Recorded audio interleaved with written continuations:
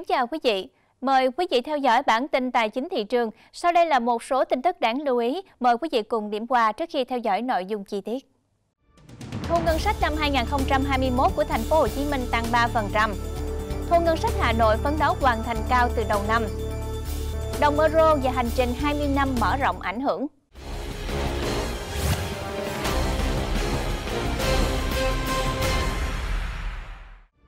Thưa quý vị, theo Cục Thống kê Thành phố Hồ Chí Minh, thu ngân sách trên địa bàn thành phố năm nay ước đạt hơn 383.700 tỷ đồng, tăng 3% so với năm trước.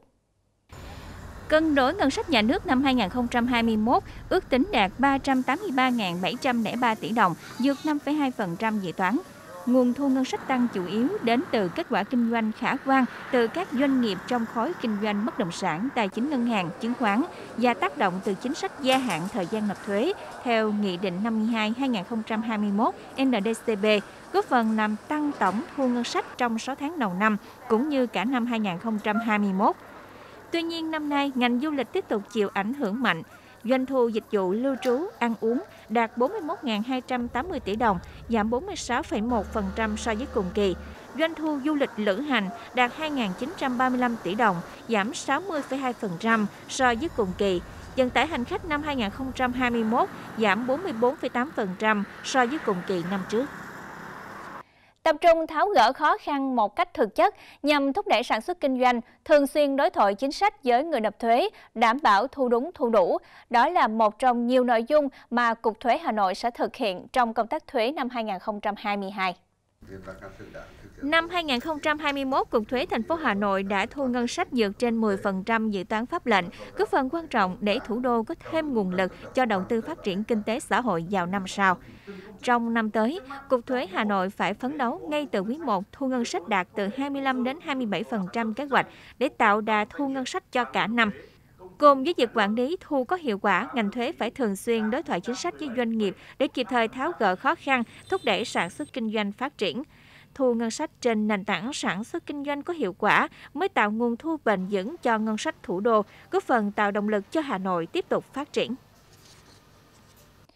Trong năm 2021, tỉnh Tiền Giang đã thu hút được 15 dự án với tổng vốn đầu tư đăng ký 1.827 tỷ đồng, trong đó có 6 dự án vốn đầu tư nước ngoài với 530 tỷ đồng, 9 dự án vốn đầu tư trong nước gần 1.300 tỷ đồng, nâng tổng vốn đầu tư thu hút năm 2021 đạt hơn 5.900 tỷ đồng, bằng 34% so với thực hiện năm 2020.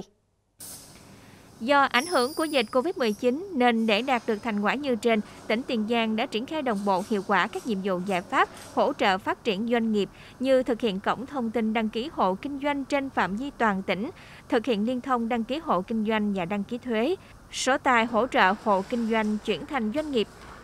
Thời gian tới, Tiền Giang tiếp tục tạo chuyển biến mạnh mẽ cải cách hành chính, khai thác hiệu quả trung tâm phục vụ hành chính công gắn với ứng dụng công nghệ thông tin, thực hiện chính quyền số, đồng thời tăng cường kỷ luật kỷ cương, nâng cao năng lực hiệu quả chỉ đạo điều hành và thực thi của đội ngũ cán bộ công chức, nhất là người đứng đầu trong thực thi công vụ.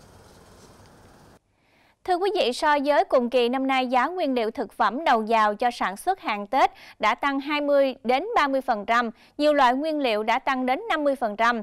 Thế nhưng trong tình hình khó khăn, người tiêu dùng thắt lưng buộc bụng, các doanh nghiệp thực phẩm tại thành phố Hồ Chí Minh đang tìm nhiều cách để kéo giảm giá thành cũng như là thực hiện bình ổn giá trong mùa Tết.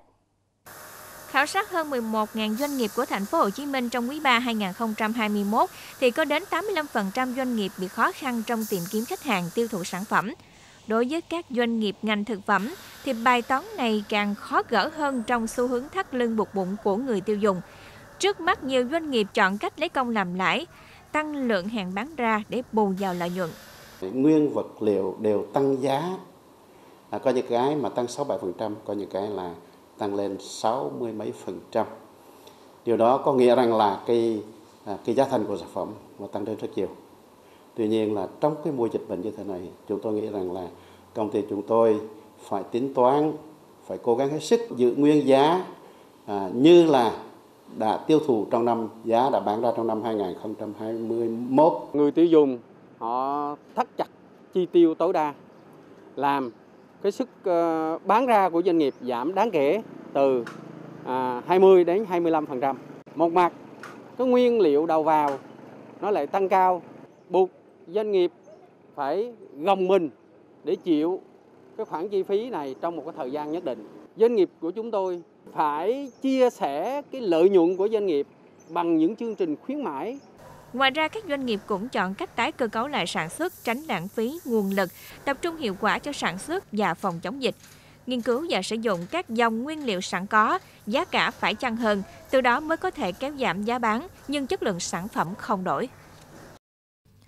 Chúng tôi phải tăng sản xuất các sản phẩm chủ lực truyền thống, đồng thời đàm phán với các nhà cung cấp để có mức giá tốt nhất cho người tiêu dùng. Chúng tôi cũng nghiên cứu các sản phẩm mới phù hợp với khẩu vị người Việt mà mức giá phải chăng. Theo Hội Lương thực Thực phẩm Thành phố Hồ Chí Minh, riêng lượng hàng thực phẩm năm nay các doanh nghiệp không tăng nhiều về sản lượng mà chú trọng vào chất lượng và giá cả. Bên cạnh đó, các doanh nghiệp cũng chuẩn bị sẵn nguyên phụ liệu.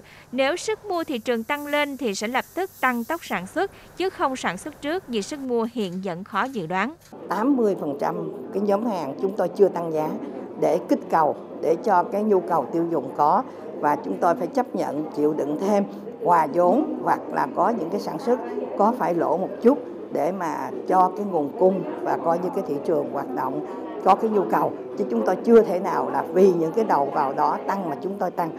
Trước tình hình dịch bệnh diễn biến phức tạp, các doanh nghiệp cũng chủ động triển khai bán hàng đa kênh, chú trọng các hình thức bán hàng online với nhiều chương trình khuyến mãi hấp dẫn gần dịp Tết.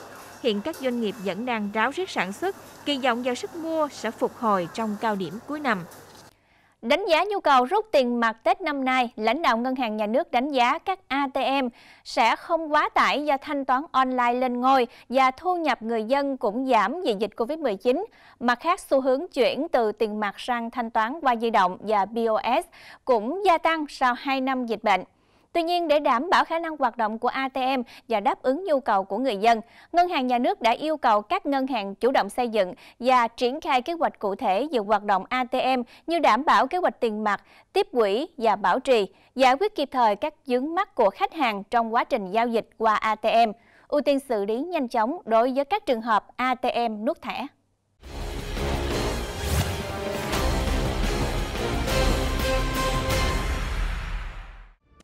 Thưa quý vị, cách đây 20 năm khi châu Âu chuẩn bị đón chào năm mới 2002, 12 nước thành viên Liên minh châu Âu EU với hơn 300 triệu dân đã nói lời tạm biệt các đồng tiền riêng của mỗi nước để cùng sử dụng đồng tiền chung euro. Trong hành trình 20 năm qua, đồng euro đã từng bước mở rộng ảnh hưởng để trở thành đồng tiền phổ biến thứ hai trên thế giới. Với những người ủng hộ đồng tiền chung châu Âu, đây không chỉ là một bước tiến lớn trong lòng tin về một liên minh đoàn kết, mà còn là bước đầu thách thức vai trò nền kinh tế hàng đầu của Mỹ và sự lấn át của đồng đô la Mỹ. Tuy nhiên, sau 20 năm, người dân các nước EU phải thừa nhận rằng đồng đô la Mỹ hiện vẫn có ảnh hưởng chủ đạo. Đặc biệt, đại dịch COVID-19 khiến kinh tế toàn cầu tê liệt, giá trị đồng đô la Mỹ lại càng tăng mạnh do các nhà đầu tư tìm đến nó như một bến đỗ an toàn. Hầu hết các ý kiến đều nhất trí rằng một nguyên liệu thần kỳ hiện vẫn còn thiếu trong công thức giúp đồng euro gia tăng ảnh hưởng. Tuy nhiên, ý tưởng tạo ra một trái phiếu của khu vực Eurobond tiếp tục vấp phải sự phản đối của các nước giàu trong khu vực. Một số chuyên gia cho rằng thay vì tạo ra trái phiếu Eurobond thì toàn khối nên hướng đến mục tiêu chung là xây dựng nền kinh tế có năng suất cao, thu hút các nhà đầu tư và từ đó củng cố vị thế của đồng euro. Ngoài ra, để đồng tiền này trở nên gần gũi hơn, các nhà chức trách EU có ý tưởng sẽ thay đổi thiết kế đồng tiền dựa trên tham khảo ý kiến từ công chúng. Tập đoàn Gazprom của Nga ngày hôm qua thông báo đường ống dẫn khí đốt dòng chảy phương Bắc 2 chạy từ Nga sang Đức đã sẵn sàng cho việc xuất khẩu sang châu Âu. Thông tin này được cho là sẽ giảm bớt áp lực về giá khí đốt đang ở mức cao tại lục địa già. Theo thông báo của Garam, đường ống dòng chảy phương Bắc 2 đã hoàn thành việc bơm khí vào đường ống thứ hai và sẵn sàng để đưa vào sử dụng. Trong khi đó, Tổng thống Vladimir Putin cho biết Nga có thể ngay lập tức cung cấp khối lượng lớn khí đốt cho các nước châu Âu. Tuy nhiên, điều này phụ thuộc vào các đối tác của Nga và người tiêu dùng tại châu Âu. Nhà lãnh đạo Nga nhận định đường ống dòng chảy phương Bắc 2 sẽ làm giảm giá khí đốt trên thị trường giao ngay. Đường ống dòng chảy phương Bắc 2 dài hơn 1.200 km có khả năng vận chuyển 55 tỷ mét khối khí đốt tự nhiên mỗi năm từ Nga đến Đức qua biển Baltic. Dự án đã hoàn thành vào tháng 9 vừa qua, nhưng vẫn đang chờ sự chấp thuận của Đức và Liên minh châu Âu EU. Giá nguyên liệu tại châu Âu đã tăng cao trong bối cảnh căng thẳng leo thang giữa Moscow và phương Tây. Bản tin tài chính thị trường của Đài Phát thanh và Truyền hình Long An đến đây là hết. Cảm ơn quý vị đã dành thời gian quan tâm theo dõi. Xin kính chào tạm biệt.